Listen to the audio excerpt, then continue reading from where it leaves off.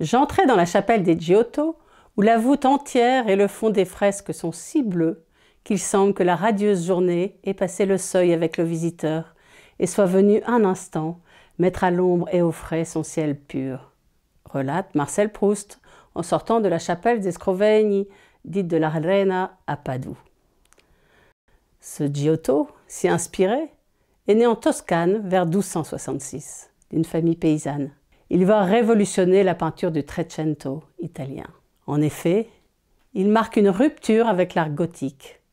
La représentation hiératique, voire figée des personnages de la fin du Moyen Âge, passe avec lui à un certain naturalisme.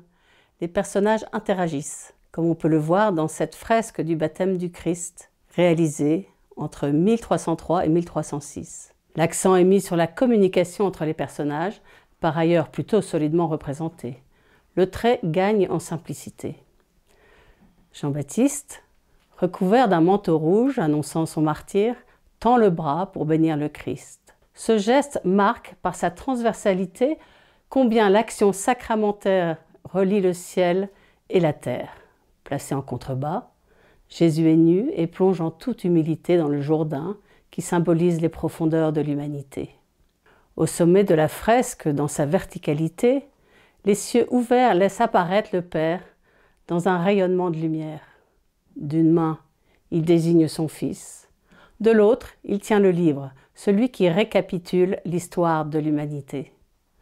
Les siècles ont quelque peu altéré la fresque. On ne distingue plus que difficilement au-dessus de la tête de Jésus la colombe de l'esprit qui fond sur lui. On a l'illusion d'une scène de théâtre. Les rochers de chaque côté, tels des rideaux, symbolisent l'Ancien et le Nouveau Testament, le Christ faisant le lien entre les deux révélations. Le Jourdain se gonfle et s'élève sur l'horizon, comme si la seule présence du Christ provoquait ce mouvement ascendant. Giotto illustre sans doute ce verset du psaume 113 sur la libération d'Égypte. Le Jourdain retourne en arrière. L'un des deux hommes derrière Jean-Baptiste porte une auréole. Il s'agit sans doute d'André, le premier des disciples de Jean à suivre Jésus, le premier à pressentir qu'il est celui qui peut combler l'attente des hommes et à l'annoncer à son frère Simon. Nous avons trouvé le Messie. Jean 1, 41. Sur l'autre rive, des anges sont auréolés en quadrilobe, héritage du style gothique. Giotto se rattache au courant artistique de l'après-Renaissance qui naît en Italie au début du XIVe siècle. En cette fin de Moyen Âge, Giotto est le premier artiste dont la pensée et la nouvelle vision du monde aidèrent à construire le mouvement humaniste inspiré, qui montre l'homme comblé des dons de Dieu, libéré de la fatalité. Il n'est pas étonnant que Giotto peindra d'abondance à Assise, la ville de l'homme le plus libre de l'histoire, Saint François, l'ami du Christ, des oiseaux et des loups.